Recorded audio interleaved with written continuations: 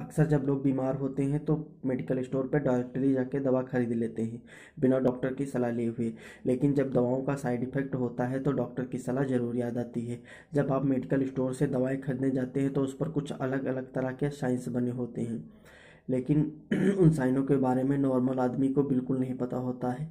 उस साइनों के बारे में डॉक्टर को ज़रूर पता होता कि क्या मतलब होता है। तो दोस्तों, आइए हम आपको इस वीडियो के माध्यम से बताएँगे उन साइनों के बारे में क्या होता है। तो शुरू करते हैं, आगे बढ़ते हैं वीडियो को। शुरू करते हैं, लाल पट्टी बनी होती है दवाओं पे। उसका मतलब ये होता है कि ये दवा बिना डॉक्टर के डिस्क्रिप्शन नहीं खरीदी जा सकती।